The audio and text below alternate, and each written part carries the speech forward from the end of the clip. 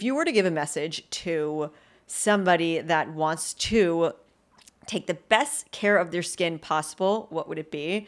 You know, we obviously know the skincare industry is a multi-billion dollar in- industry, but most people don't what what they don't know is that a majority of that money they spend is spent on marketing and packaging. Not necessarily on research and and really finding out what truly is scientifically working. So I'm not going to get into details of brand products, but I'm going to tell you about active ingredients that have been shown to have a protective effect on the skin and also to reverse aging.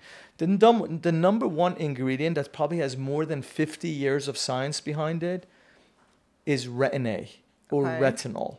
Right? This is an old molecule that's been studied extensively in the dermatologic literature, acne prevention, but it also has amazing effects on preventing aging, wrinkling, and sun damage. So that's probably would be my number one. My number two, which probably has about 30 years of science behind it now, is actually use of topical vitamin C. Okay. Vitamin C is an antioxidant.